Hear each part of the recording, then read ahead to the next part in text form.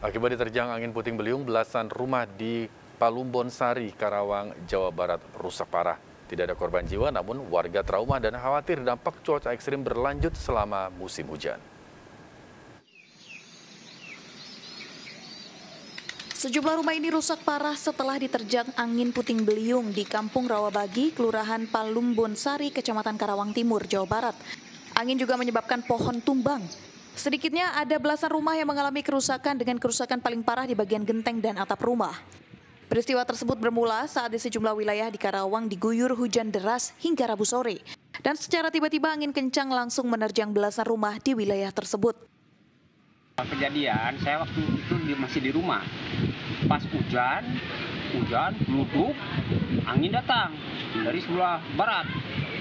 Oh, muter, angin langsung ke sawah, balik lagi ke kampung yang berumah saya, terus angin ke sana ke utara, muter di utara terus di, di sawah, sambar lagi yang di sebelah sana. Terus yang di dalam juga ada itu rumahnya Pak Wadi kena. Jadi banyaklah sekitar 15 rumahan lah gitu. 15 rumah? Iya. Hancur Pak ya? Iya. Hingga kini warga masih bertahan di rumahnya masing-masing meski aliran listrik di wilayah tersebut dipadamkan untuk sementara waktu. Dari Karawang, Jawa Barat, Muhammad Fahrudin, iNews melaporkan.